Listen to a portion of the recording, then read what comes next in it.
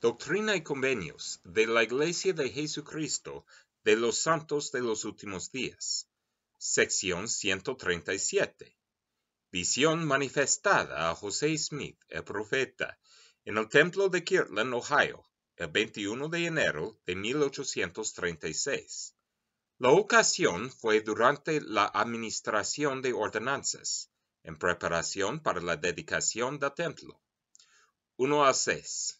El profeta ve a su hermano Alvin en el reino celestial. 7 a 9. Se revela la, la, doctrina de la salvación de los muertos. 10. Todos los niños pequeños se salvan en el reino celestial. Los cielos nos fueron abiertos, y vi el reino celestial de Dios y su gloria. Mas si fue en el cuerpo o fuera del cuerpo, no puedo decirlo. Vi la incomparable belleza de la puerta, cual, la cual entrarán los herederos de ese reino, la cual era semejante a llamas circundantes de fuego. También vi el refulgente trono de Dios, sobre el cual se hallaban sentados el Padre y el Hijo. Vi las hermosas calles de ese reino, las cuales parecían estar pavimentadas de oro.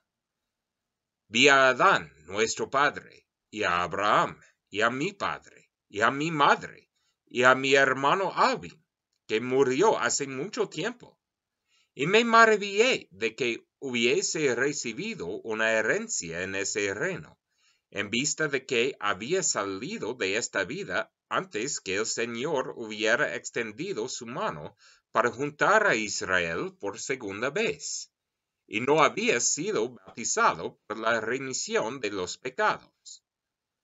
Por lo que me habló la voz del Señor, diciendo, Todos los que han muerto sin el conocimiento de este Evangelio, quienes lo habrían recibido si se les hubiese permitido permanecer, serán herederos del reino celestial de Dios.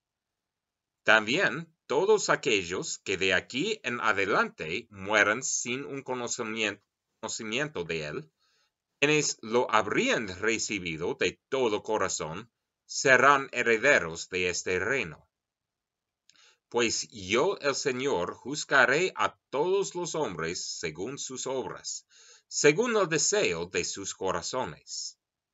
Y también vi que todos los niños que mueren antes de llegar a la edad de responsabilidad se salvan en el reino celestial de los cielos.